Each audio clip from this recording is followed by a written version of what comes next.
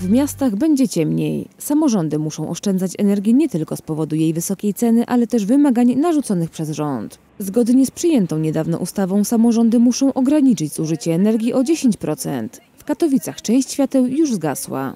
W tych głównych arteriach drogowych, m.in. ulica Chorzowska, Kościuszki, Bagienna, Roździńskiego, DTS czy DK86, tam już e, nie świecą się latarnie uliczne, jest przyjęty tak zwany wariant autostradowy, to oznacza, że tam gdzie są rozjazdy, tam latarnie są zapalone, a tam gdzie tych rozjazdów nie ma, tam te latarnie są e, zgaszone. Staraliśmy się wybierać takie drogi i właśnie takie miejsca, gdzie nie ma chodników, gdzie nie ma zagrożenia dla pieszych w związku z tym, że nie ma też tego oświetlenia. Oświetlenie ulic, ale też budynków czy pomników kosztuje Katowice około 14 milionów złotych rocznie. Miasto chce zaoszczędzić około 6 milionów. Dlatego mieszkańcy muszą liczyć się również z tym, że uliczne latarnie będą zgaszone od godziny 23 do 5 rano. Na katowickim rynku wprawdzie rozpoczęły się przygotowania do świątecznego jarmarku, ale i on ma być tylko symbolicznym akcentem. Koszty oświetlenia budynków redukuje też bytom. Chodzi o takie e, doświetlenie, które ma raczej charakter ozdobny, e, a nie służy do e, oświetlenia ze względu na bezpieczeństwo.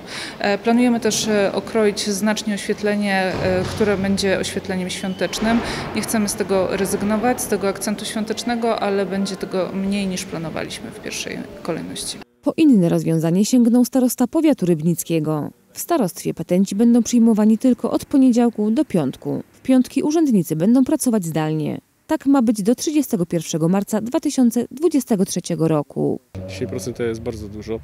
Tego się nie da zaoszczędzić wyłączając tylko żarówki. W związku z tym jeszcze dodam, że e, oczywiście e, wójt, burmistrz, prezydent, starosta e, są zagrożeni dużymi karami finansowymi, jeśli nie wykonają tych 10% oszczędności.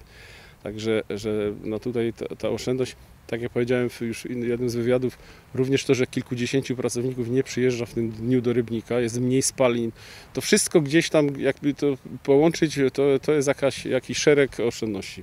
Biorąc pod uwagę stale rosnące ceny energii, wprowadzane właśnie oszczędności, to może być dopiero początek. Światełka w tunelu na razie nie widać.